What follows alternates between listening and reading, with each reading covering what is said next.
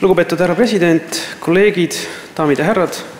mina olen Maarja Kadastik, akadeemikukandidaat informaatika ja tehnikateaduste osakonnas.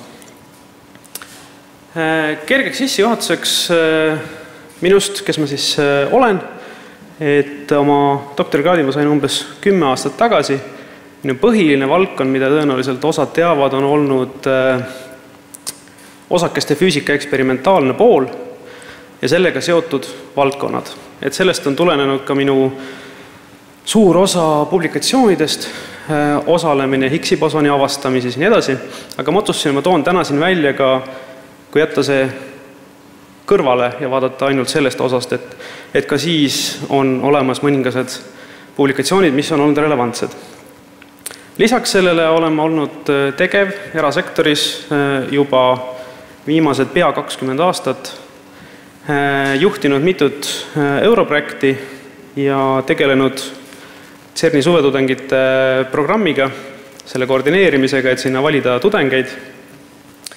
viimased paar aastat olen olnud ka KBFi teadusdirektor ning äh, Eesti CERN-iga liitumise üks eestvedajaid aga et nagu näidata natukene, ütleme, minu väljapaistev pool on võib-olla olnud rohkem tõesti, mis on publikatsioonide valdkonnas, on olnud just see osakeste füüsika eksperimentaalsed tulemused, aga mis on minu selline põhiline tegevus või rõhk selles olnud, tegelikult on, on selle see tehnoloogiline pool, mis äh, alati ei paista sealt ilmtingimata välja. Aga need valdkonnad, mis on põhiliselt olnud minu tegevuseks, on just äh, niinimetatud big data ehk siis suurte andmemahukate süsteemide analüüs, andmete analüüs, selleks vajalike tehnoloogiate arendamine, näiteks need kaks europrojekti olid konkreetselt äh, seotud Eestis äh, hajusarvutuse või no ütleme, Baltikumi hajusarvutuse süsteemi loomine. Äh, ja sellest tulenevalt järjest rohkem on mu tähelepanu pöördunud Äh, selliste suurte teaduskeskuste teadmiste siirdele, et kuidas seda tehnoloogiat ka Eestis rakendada. et äh, see hajusarvutus näiteks on toonud võimekust, kus äh, me olime võimelised reageerima väga kiiresti uutele eksperimentaalsetele tulemustele, kus me selle suure mahuka arvutustega hajutatult üle terve Eesti ja Baltikumi suutsime produtseerida tulemused, mis olid maailmas uudsed, enne kui seda paljud teised mujal maailmas suutsid teha. ja selline eelis on, on äh, kätte saadud meil tegelikult CERN-i tehnoloogiast.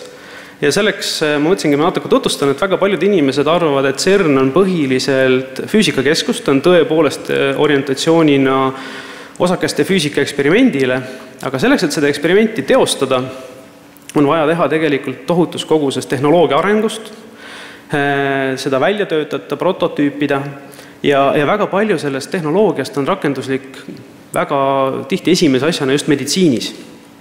ja sellest tulenevalt CERN koosnebki tänapäeval kolmest suurest valdkonnast, et on loomulikult see füüsika, see on olemas tehnoloogia arendus ja siis on meditsiin, on täiesti eraldi osa, on CERN Health, eh, mis tegeleb meditsiinitehnoloogiate väljatöötamisega, et muuta meie kõigi tervist ja analüüsi paremaks. Selleks ma toongi välja mõned nagu sellised näited, et kui vaadata, mis läheb ühe eksperimendi teostamisse tehnoloogiaid, siis seal on väga palju spetsiifilisi tehnoloogiaid, aga seal on palju asju ka nagu näiteks tööstuse juhtimine, metroloogia, materjalitehnoloogia, robootika, sensorid ja see kõik taandub üle teistesse valdkondadesse. see läheb otseselt meditsiini, biotehnoloogiasse, kosmosetööstus, äh, turvalisus, just see sensoorika, robootika, metrolo-, metronoomia, kõik need, see äh, tööstus uue, uue nutikas tööstus ja, ja väga palju uusi tehnoloogiaid, mis sealt arenevad. ja mõne sellise konkreetsema näitena, äh, näiteks on, mis on just põhiliselt, ma tõin välja meditsiinivaldkonnast, on äh, näiteks selline värskelt välja töötatud prototüüp kiirendile, mis mahuks siiasamma puki peale ja millega oleks võimalik toota isotoope, et kasutada seda Äh, MRI või ütleme, PET-skännerites ja muudes äh, kontrastainena osas. on töötatud äh, välja uusi kristalle ja tehnoloogiaid, milles kusjuures osaleb ka näiteks Tartu Ülikool, mis parandavad sensoorikat ehk uued PET-skännerid on võimelised mõõtma tulemusi täpsemalt. väiksema radiatsioonidoosiga näiteks. Samamoodi Kempixi sensor, tänu millele on võimalik ruumiliselt jälgida, kuidas hadronteraapiasse kiiritus neeldub, ehk omada paremat ja täpsemat arusaama, kuidas teha kiiritusravi ja need super ülijuhtivate selle LHC kiirendi magnetite väljatöötamisel see ülijuhttehnoloogia on rakendatav otseselt ka võimsamate magnetite tegemiseks eh, MRT aparaatidesse. Ja selle tulemusena on võimalik saada oluliselt täpsema resolutsiooniga pilte, mis aitab diagnostikas. ja seetõttu minu nagu selline tegevus ja eesmärk ongi olnud äh, jõuda niinimetatud tulevikuinsenerideni. ehk siis parim õpe on läbi kogemuste omandamise teistelt, ehk siis ise asju tehes. ja selleks on CERNil olemas väga palju väga põnevaid programme, millesse ma olen üritanud ka meie tudengeid vaikselt äh, saada, näiteks suvetudengite programm, mis on Eestile hetkel kättesaadav, ametlikult ei ole ette nähtud tehnikatudengite jaoks, aga mul on õnnestunud sinna mõned sisse smuugeldada aga CERN-is on ametlikult olemas samuti programmid, kus võetakse iga aasta vastu sadu tehnilisi tudengeid, kes ei tohi olla osakeste füüsikud, vaid just materjalitehnoloogia, IT äh, ja, ja elektroonika ja nii edasi, kes teevad seal praktilist tööd neli kuni neliteist kuud.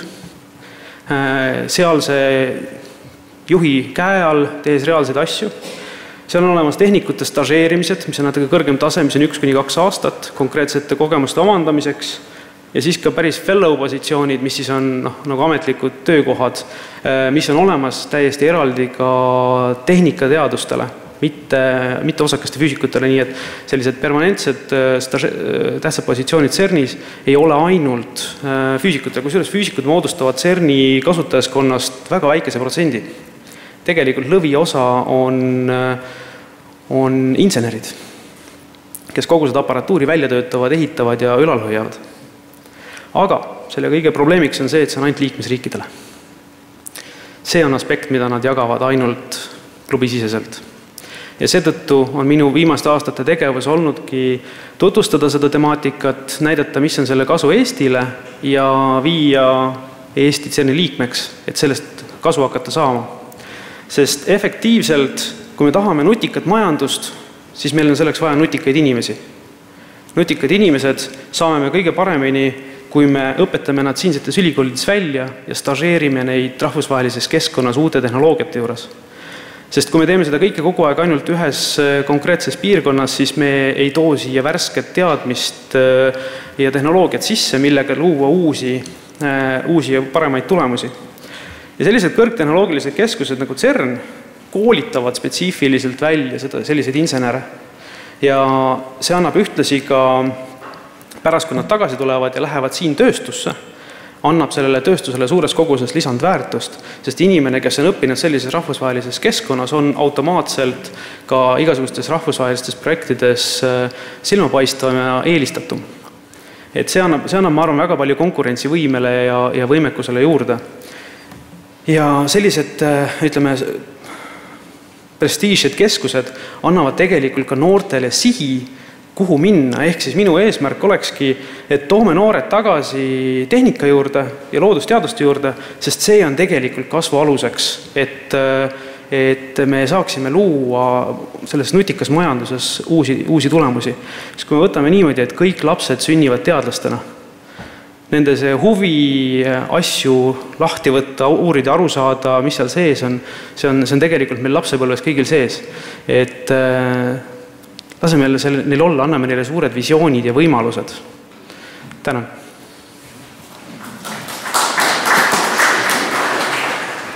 suur tänu, paluks küsimused. Jüri. nii, aitäh ma ei puuduta statistikat, see annab alust igasugustele spekulatsioonidele ja me teame, kuidas seal kõik need asjad käivad. Aga nüüd parimate või tähendab oluliste teadustulemuste hulgast, tähendab need dokumendid, mis esitati, eks ole. seal oli kaks esimest artiklit olid ilma autoriteta, mis tähendab seda, et see oli siis ikka seesama, see CERN-i, CERN-i tööd, kolm tuhat autorit või midagi niimoodi ja edasi. milline oli nende artiklite või tulemuste juures isiklik panus, rida või, või, või arvutused või, või midagi mm -hmm. muud, aitäh kui ma nüüd täpselt mäletan, need olid seotud Higgsi bosoni avastamisega ja selle CMS-i eksperimendi endaga. et ma olen ise osalenud CMS-i eksperimendis aastast kaks tuhat neli, kaasa arvatud selle füüsikaprogrammi väljatöötamises äh,, alguses, kui veel eksperimenti kui sellist äh, masinana ei eksisteerinud. ja ma olen Higgsi bosoni töörühmas töötanud, selle ühte alarühma ka juhtinud ja töö konkreetselt nüüd siis lepton kanalites Higgsi bosoni otsimisega oli valdkond, mida mina konkreetselt äh, vahepeal ka seal juhtisin ja seal on nagu otsene panus äh, sellesse töösse, et Higgsi boson selles kanalis leida.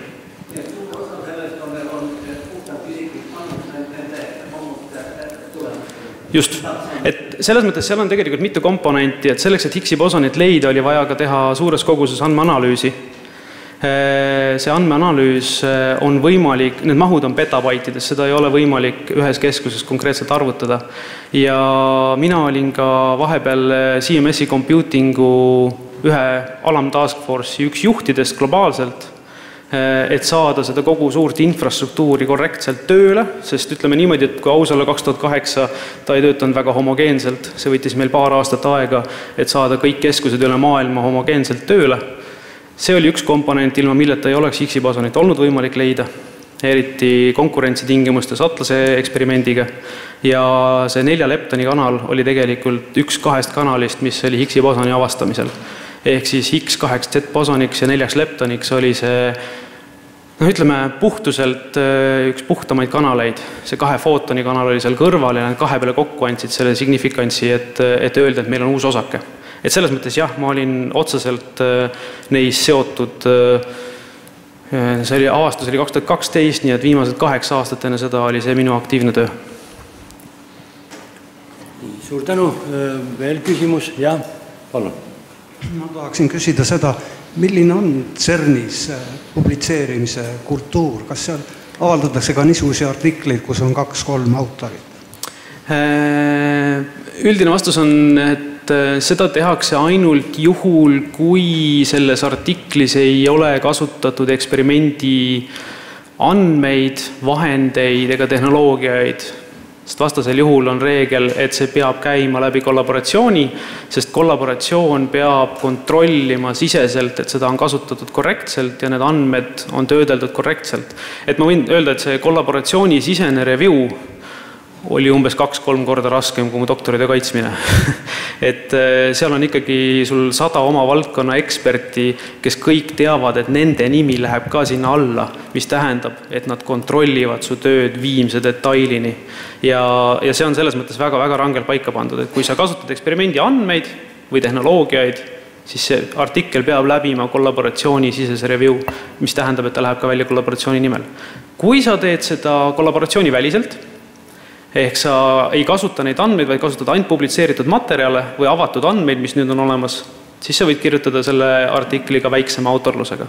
kollaboratsiooni siseselt meil on olemas niinimetatud analüüsinoodid, kus on olemas peal väiksema autorlusega nimekiri, aga need on sisesed, need on põhiliselt mõeldud äh, kaitsmiskomisjonide ja muude selliste asjade jaoks, kus on vaja näidata, kes konkreetselt mingi tegevusega tegelesid. nii, äh, suur tänu